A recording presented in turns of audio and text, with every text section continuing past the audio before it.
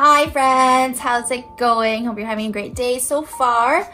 Today I want to go over a super cool concept that I recently came across the term of, but I have already been living my life by for many years. So that term today is monk mode monk mode.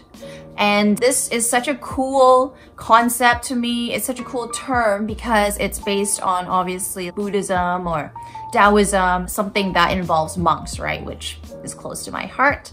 So essentially what that means is hiding yourself away from temptation and focusing on what it is that you want to achieve and spending your uh, time, energy, attention on manifesting those things. So I thought it would be cool to make a video about how as a woman, you can achieve monk mode and use it to your success. Women, as we know, are very, very social creatures. Like, even though some of us might be introverted, most of us enjoy connecting with others. And this is how we express our feminine energy.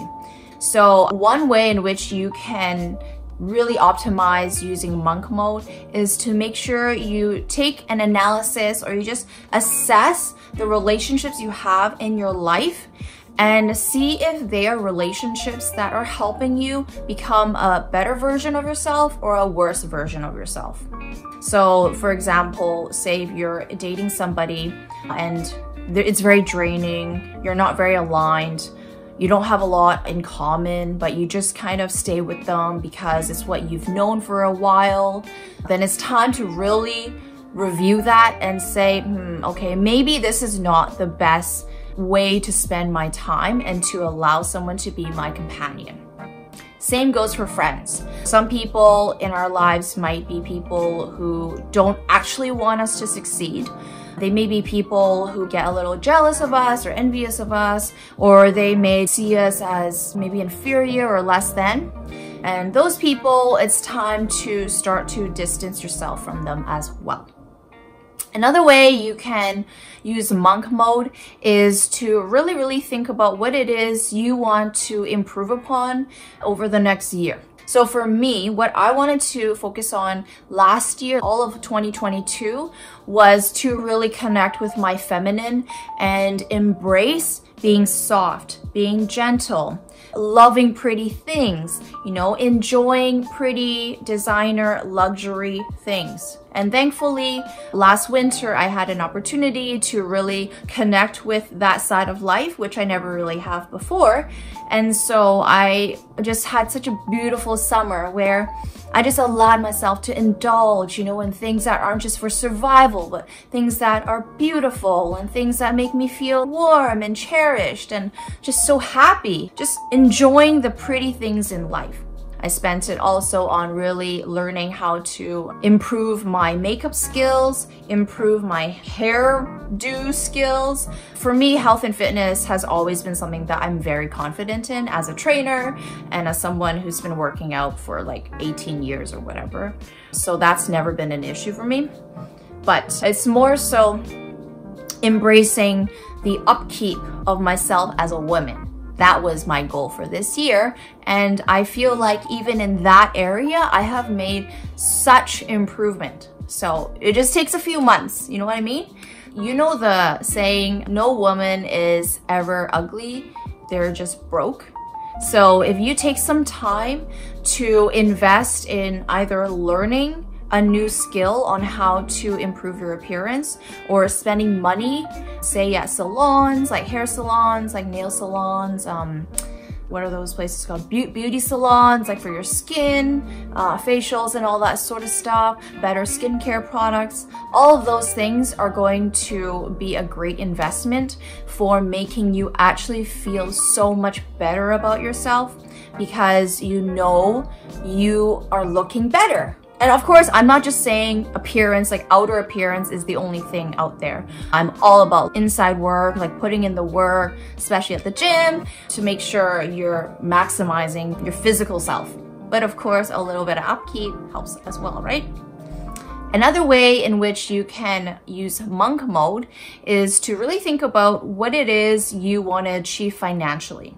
A lot of the time, us women, we don't really get a lot of exposure to finances. I know I certainly didn't and I only started investing last year and my ex taught me that. So this entire year I've been learning about stocks. I just read about the stock market, the economy. I read about so many different things that are happening in the world. And this is for self-education and also so you can learn how to better invest your money and create assets that will serve you for way into the future. So any of you who are not like married to a dude with a lot of money, any of you guys who need to take care of yourselves, you might not have a lot of family funds. It's really, really important that you spend a bit of time learning about that entire area and developing your financial health.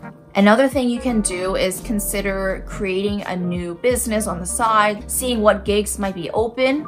For me, starting YouTube was one of those endeavors. And I actually love talking on camera so much, so I'm so glad I finally started this. But for you, it might be starting a nail gig, starting lashes, doing some editing on the side drawing, like anything, just make sure it actually makes money so you're not just investing time into something that is ultimately not gonna have any real returns.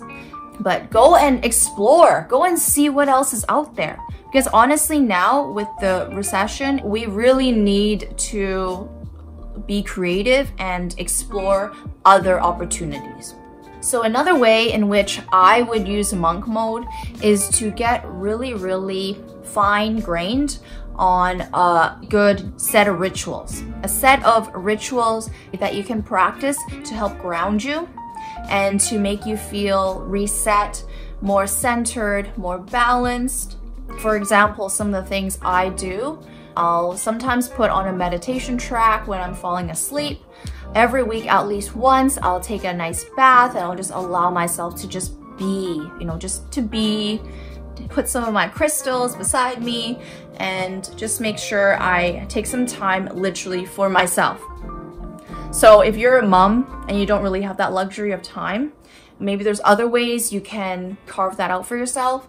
If it's possible for you to hire a babysitter or to have your kids be taken care of by your parents or your in-laws, that would really, really make you feel so much better.